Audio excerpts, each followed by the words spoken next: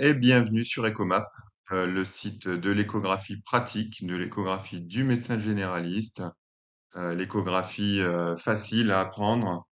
Alors aujourd'hui, comme d'habitude, le cas clinique intéressant du jour, eh bien, il nous est livré par une euh, jeune femme de 30 ans qui se présente en consultation avec un, un cas clinique pas simple, qui aurait pu être, qui aurait pu être piégeux, puisque la présentation de la patiente c'est une présentation assez classique euh, de personnes euh, asthéniques, euh, un peu dépressives, anxieuses. Elle se présente en consultation en disant, bah voilà, je viens vous voir docteur parce que j'ai une pression, j'ai une pression au niveau de l'épigastre, dans le creux de l'estomac, et euh, j'ai l'impression que j'ai mon diaphragme qui est bloqué.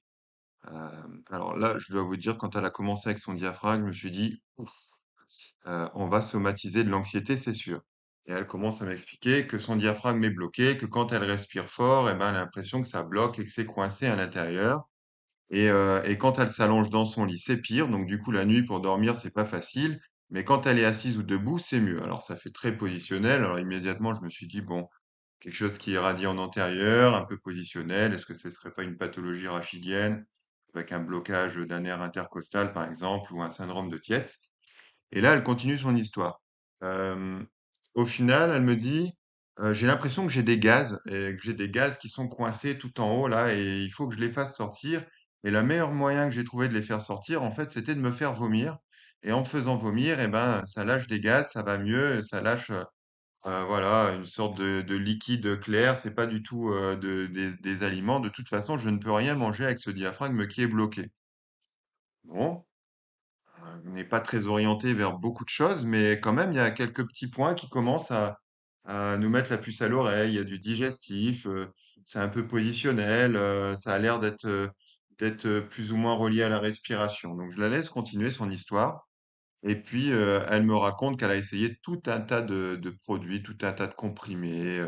Elle a acheté tout un tas de choses en pharmacie pour les gaz, du charbon actif, du météospasmil, du Dulcolax parce qu'on lui a dit qu'elle était probablement constipée et que euh, tout ça n'y fait rien.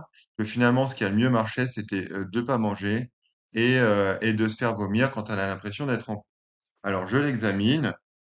Et à l'examen, euh, on trouve quand même une petite sensibilité euh, dans la partie droite de l'abdomen, euh, en sous, en sous-costale droite, euh, au niveau du rachis, absolument rien, aucune douleur.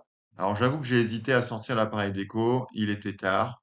Hein, euh, je vous dis les choses comme elles sont, puisqu'on parle de l'échographie euh, réelle, hein, de cas cliniques euh, concrets du cabinet. Il était tard, il y avait encore beaucoup de personnes dans la salle d'attente. Je me suis dit, est-ce que je sors l'appareil d'écho? Est-ce que vraiment ça a un quelconque intérêt? Et puis bon, l'intérêt de l'avoir juste à côté de la table d'examen, c'est qu'on peut le sortir facilement quand on veut et ça prend pas toujours beaucoup de temps. Donc, je sors l'appareil d'écho et dès la première coupe, voici sur quoi je tombe.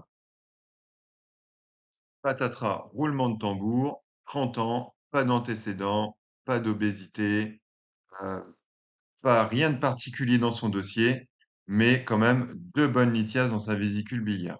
Donc on reconnaît euh, classiquement les lithiases, hein, on en profite pour expliquer un petit peu. Donc euh, là on a ici la face antérieure de la lithiase qui est hyper échogène puisque ça va créer une surface de réflexion pour les ultrasons qui descendent. Donc nos ultrasons descendent ici, tac, ils rebondissent sur la lithiase et donc euh, l'appareil d'écho image la face antérieure de la lithiase. Une partie des, ultrasons arrivent à rentrer dans la lithiase, mais ne peuvent pas revenir en arrière puisqu'ils n'ont plus assez de force à l'intérieur de la lithiase. Du coup, plus aucune image ne revient en dehors de cette, euh, de cette surface, ce qui explique à l'arrière, vous voyez ici, les deux cônes d'ombre importants. Donc là, les lithiases sont quand même assez importantes, hein. 15 mm et 13 mm.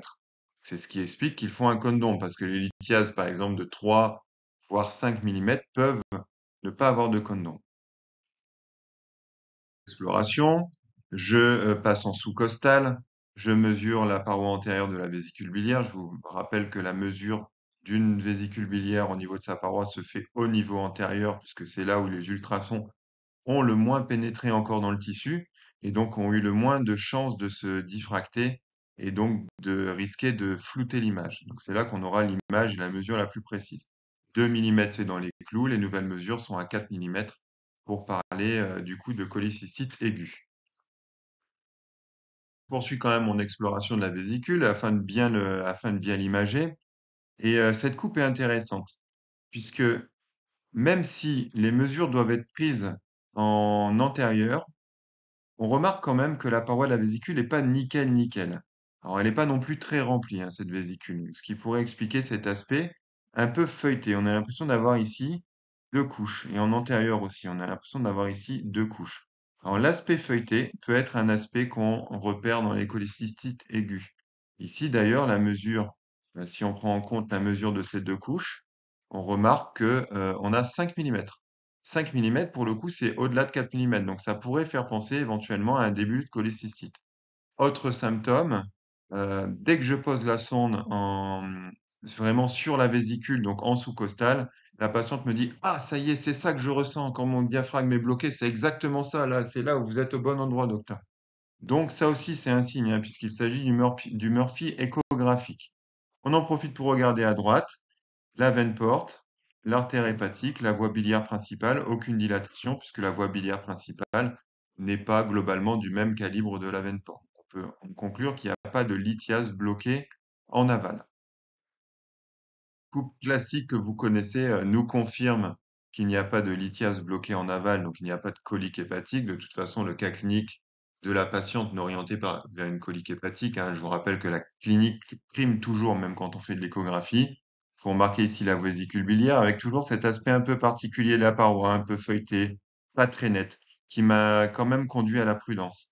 Ici, vous avez votre trompe-porte et ici, vous pouvez voir passer la voie biliaire principale qui n'est pas dilatée. Donc, euh, que faire de ce cas clinique? Eh ben, c'est simple. Hein. On a un doute. Le week-end approche. En plus, c'est un long week-end de trois jours.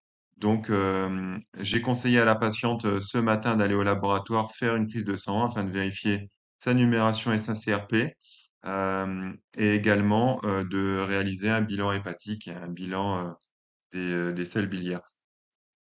On aura donc notre réponse, hein, puisque de toute façon, la patiente s'est elle-même mise à jeun. ça s'est quand même plus ou moins amélioré pour elle ces, ces, derniers jours par rapport à l'épisode du début.